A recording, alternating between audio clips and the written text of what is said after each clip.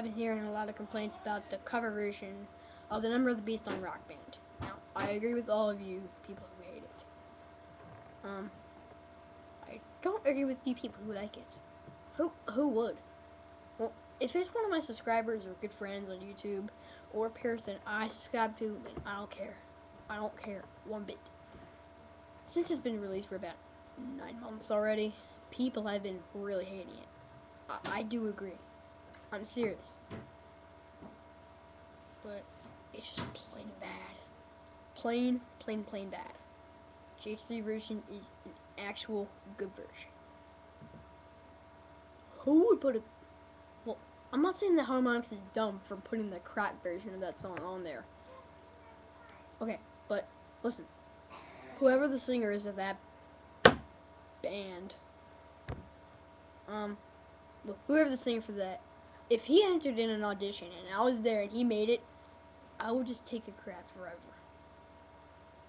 And like, it, it would feel so weird if he actually made it. It is a horrible version. I don't like it. I'm, I'm pretty sure many of you people don't.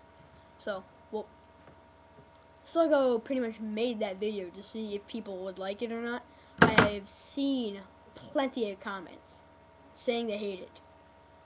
I, I, I never got the chance to plus one all of them or plus anywhere else all of them, but I do agree with all of you. I do agree.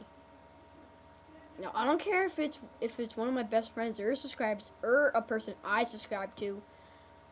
Well, I might unsubscribe to them, or but if they're a really good friend of mine, I don't really care. Mm.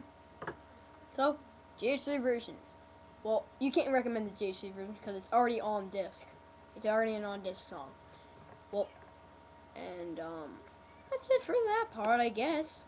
But if you have to decide to buy the Rock Band version, I for um, thumbs, thumbs down, ba like not barely, but all the way a thumbs down on that version.